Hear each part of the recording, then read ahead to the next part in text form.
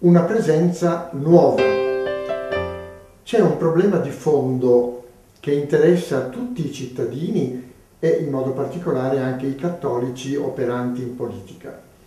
È finita la lunga stagione ideologica che abbraccia praticamente la seconda parte del secolo XX, quando erano le ideologie a scontrarsi fra di loro, c'era un nemico da battere e questo provocava unità, contrapposizione, divisione, ma in qualche modo era una forza per la militanza politica. Finite le ideologie, durante questo periodo noi abbiamo vissuto una democrazia bloccata, siamo passati con il XXI secolo alla necessità di una democrazia matura, non più bloccata, non più contrapposta tra un'ideologia e l'altra.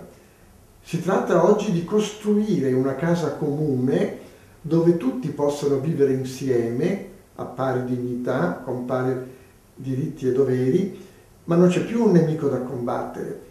Allora è più difficile e ci vuole una presenza nuova.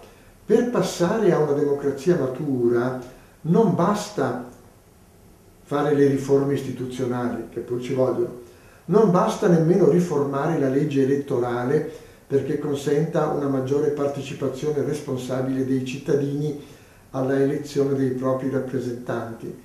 Occorre avere una relazione nuova tra il patto politico e la società civile e i cittadini, i mondi vitali. Questo dialogo si può dire che è stato interrotto dalle lotte ideologiche. Allora è importante realizzare una area solidale, popolare, democratica, laica, che si ispiri a valori condivisi e possa radunare attorno a sé quanti credono in questi valori, che sono poi i valori della nostra Costituzione repubblicana e sono gli stessi valori della dottrina sociale della Chiesa. Sono valori laici che devono rimanere tali nella dottrina, nella Costituzione repubblicana, che però sono aperti alla trascendenza.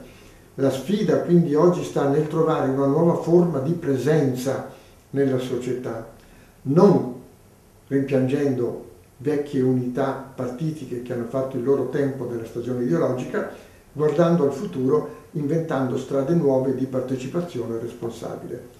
Riusciremo a farlo?